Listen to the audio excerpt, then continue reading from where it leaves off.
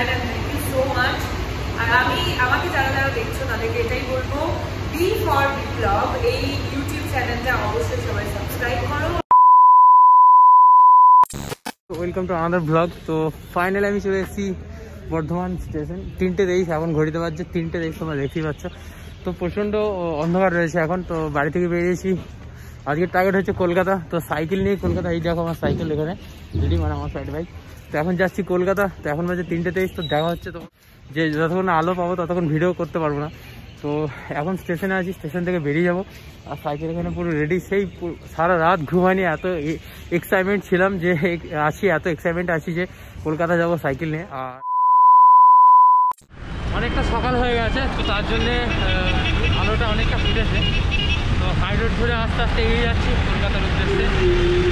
আজকের জার্নিটা একদম ইউনিক জার্নি, এটা আমার জন্য ফার্স্ট টাইম মানে এই ধরনের জার্নি আমি কোনোদিন করিনি। এটা ফার্স্ট টাইম তো ভীষণ এক্সাইটেড আছি। আর একটা বাস রয়েছে। একদম পুরো এটা হাইওয়েতে রয়েছি। আমার কেমন দেখতে লাগছে, একটু বলে দাও তোমরা কমেন্ট করে। আর ব্যাগটা ভালো লাগছে আশা করি। তো এখনও অনেকটা পথ বাকি আছে, যেতে হবে। যাওয়ার পথে কিছু খাওয়া দাওয়া করব ভাবছি।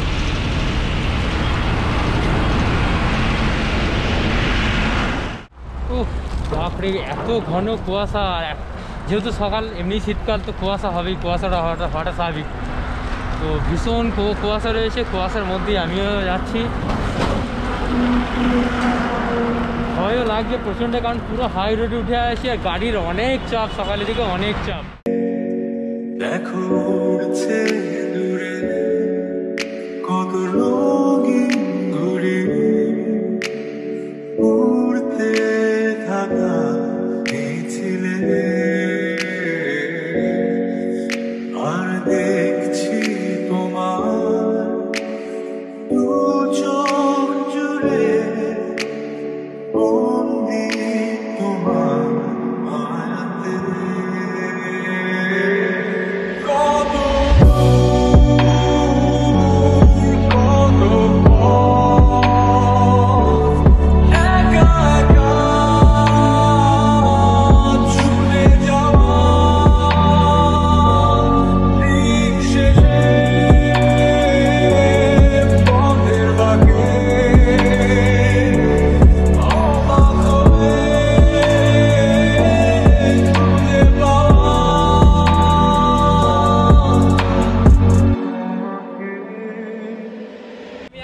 বালি ব্রিজে এটা হচ্ছে বালি ব্রিজ মানে এই ব্রিজে আমার এত আসার ইচ্ছা ছিল এতবার ট্রেনে বাসে গেছি এই ব্রিজে হেঁটে যাব এটা আমার এত ইচ্ছা ছিল।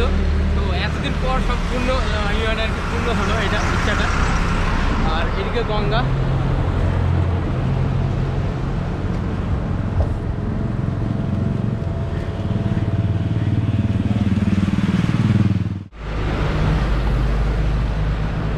প্রচণ্ড ভয় লাগছে। পকেটে ফোনটা আছে এটাকে না ব্যাগে ভরতে হবে। তাহলে বাই চান্স গঙ্গায় পড়ে গেলে তো বাস এখন হাওড়াতে আসি, নদীটা বেরোলেই ওখানে ওপারটা হয়ে যাবে কলকাতা। তো আর কিছুদিনের মধ্যে আমি কলকাতা পৌঁছাবো। আর আমি যে লেনে হাঁটছি, এই লেনটা শুধুমাত্র হা- শুধুমাত্র পায়ে হেঁটে চলার জন্য বা ছোটার জন্য। আর ডান দিকে যে লেনটা আছে, ওটা বাইক, বাস, বিভিন্ন রকম যে যানবাহন আছে, সেগুলো চলার জন্য। সাইকেল মনে হয় এই লেনে উঠতে দেয় না। তো আমি সাইকেল লেনে লেনে আর ফার্স্ট টাইম তো আমি এই লেনে সাইকেল নিয়ে যাচ্ছি। বেশ ভালো লাগছে। তো, আমার যে ডেস্টিনেশন সেই ডেস্টিনেশনে আস্তে আস্তে হঠাৎ করে আমি কলকাতা স্টেশনে এসে পৌঁছে গেলাম এটা হচ্ছে কলকাতা স্টেশন তো আমি ফার্স্ট টাইম কলকাতা স্টেশনে এসেছি। তো একবার ভেতরে প্রবেশ করব। আর বর্ধমান থেকে সাইকেল নিয়ে ডাইরেক্ট কলকাতা স্টেশন তো আমাদের ডেস্টিনেশন ছিল অ্যাক্রোপলিস মল তো অ্যাক্রোপলিস মলে আমি পরে যাব। মানে আমার যাওয়ার পথে কলকাতা স্টেশনটা পড়ে গেল। তো ভাবলাম আমি ভেতরে যাই। তো একবার তোমাদের ভেতরেটাও এন্ট্রি করব।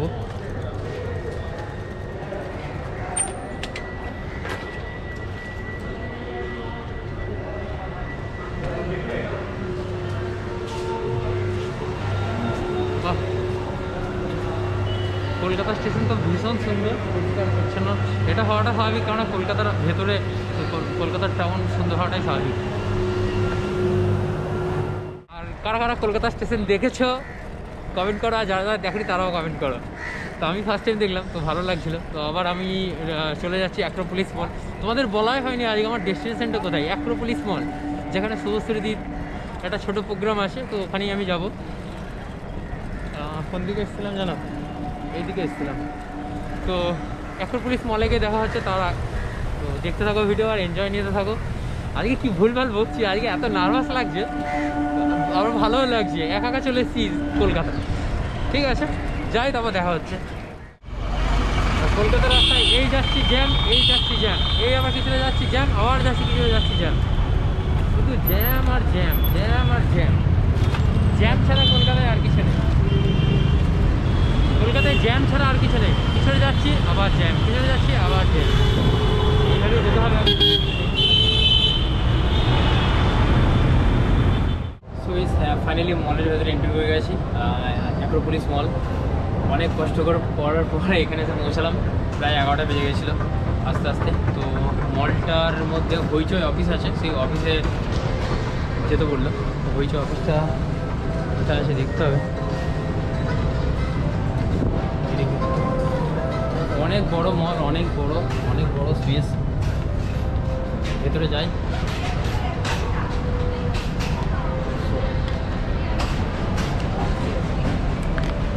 বলছি হইচই অফিসটা কোনখানে?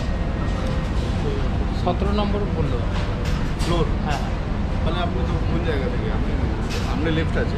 ওই লিফটগুলো কাজ করছে। না লিফটগুলো আমি ওই আপনার হইচই যে অফিস আছে না ওই হইচই অফিসে যাব। মানে এক্সিট বেরিয়ে বাস সাইডে চলে যাবে। হ্যাঁ সেভেন্টি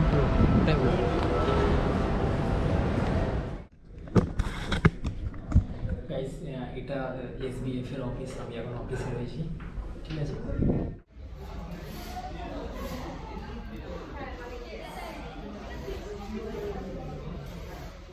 আর দিদির সাথে আমার একটা ভিডিও রিলিজ হবে খুব তাড়াতাড়ি মানে সৌসু দিদির সাথে। সেটা হচ্ছে হইচই তোমরা হইচই দেখতে পেয়ে যাবে। তো হইচই আসবে আর তাছাড়া আমি লিঙ্ক এমনি শেয়ার করে দেবো তোমাদের। দিদির একটা নতুন ওয়েব সিরিজ আসছে গিফট নিয়ে আসছি গিফটটাও শেয়ার করব, দিদিকে দিয়ে দেবো।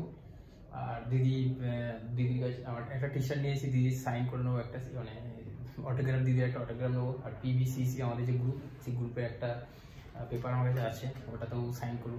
তো ভীষণ ভালো অ্যাটমসফিয়ার তো কি ভালো লাগছে কি বলব, দিদিও দিদির সাথে একটা ভিডিও শ্যুট হয়েছে আমার মানে বিজ্ঞাপনটা মানে ইন্টারভিউ হয়েছে দিদির সাথে একটা আর সেটা আপলোড হবে খুব তাড়াতাড়ি হয়েছে। ফাইনালি মানে স্বপ্ন পূরণ এত কষ্ট করে এসেছি দিদিকে দেখার জন্য। তো মানে এক্সাইটমেন্ট এত আছে মানে বলে বোঝাতে পারছি না আর প্রচণ্ড নার্ভাস ফিল করছি। দিদি একটু আই এম রিয়েলি গ্ল্যাড আর ভাবতেই পারছি না যে অত দূর থেকে আট ঘণ্টার সাইকেল মানে সাইকেল করে তুমি এসছো। I am really glad and thank you so much আর আমি আমাকে যারা যারা দেখছ তাদেরকে এটাই বলব বি ফর বিপ্লব এই ইউটিউব চ্যানেলটা অবশ্যই সবাই সাবস্ক্রাইব করো আর বেল আইকনটা অবশ্যই প্রেস করো। আর সবাই বিপ্লবের নতুন নতুন ভিডিওস দেখো। থ্যাংক ইউ সো মাচ দিদি।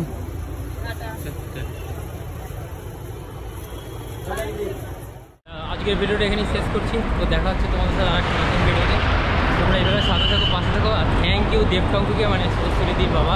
দেব কাকু অনেক অনেক ধন্যবাদ আপনি না থাকলে এটা সম্ভব হতো না আর থ্যাংক ইউ দিদি এত সব ভালোবাসা দেওয়ার জন্য থ্যাংক ইউ দেখা হচ্ছে আরেকটা নতুন ভিডিও फोन नंबर मिल सकता है हाँ हाँ हाँ बर्धमान आओ ना घूम- घूमने के लिए हम है ना बर्धमान में मेरा गाड़ी जाता है आप आपसे अपना नंबर दे दीजिए বর্ধমান থেকে সরি কলকাতা থেকে বর্ধমান ফেরার পথে জোরপূর্বক সাবস্ক্রাইবার করে নিলাম তাই তো